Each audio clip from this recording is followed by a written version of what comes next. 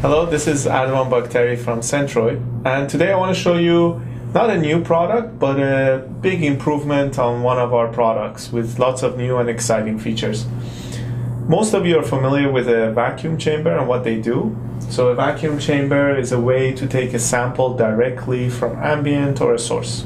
So you see it's a box and there's a pump inside that will empty out the air in the box and then that will make it so that the air from the other side, the ambient air or source air you're trying to sample, goes directly into the bag that's inside. Some people use this as a, or refer to this as a lung sampler. So it works like our lungs by making the bag expand and pull the sample in. So that's all good and well, but uh, what is the big improvement on this, you may ask? So in this one, we actually have two pumps some of the things you will notice is that, for example, I'm just gonna turn on the pump and here we go, put it on manual. And I have here a variable speed controller, so I can adjust the pump speed from uh, 1 liter per minute to 17 liters per minute. Second thing, I can put it instead of manual on sorry, remote, and I have a remote control. Uh, it works up to about 200 meters or so, and I can turn it on and off. Now, another really interesting feature with this uh, vacuum chamber is that it has an external trigger uh, here.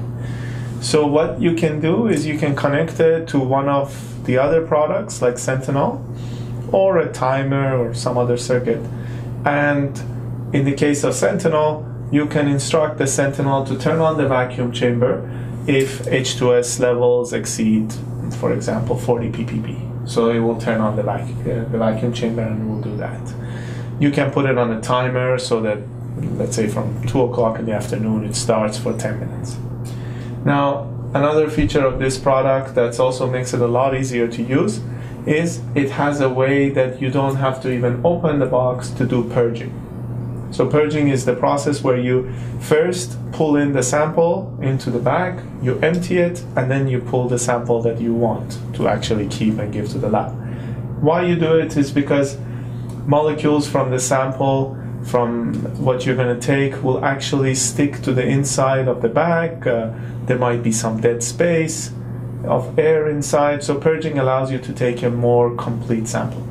Here, to do that, let me put it on manual. So I have two positions for this button. I can put it up. Now that's in pressure. That means that it will empty the bag. And when I put it down, it will fill the bag. You may notice the speed difference of the motor. That's because there's two motors. When it's emptying the bag, it empties at full speed. And it will fill it at whatever speed you set here. So that's in manual mode. In automatic mode, or not automatic, remote, I have two buttons. I can push off, and that's to fill it, and or sorry, to empty it, and that's to fill it.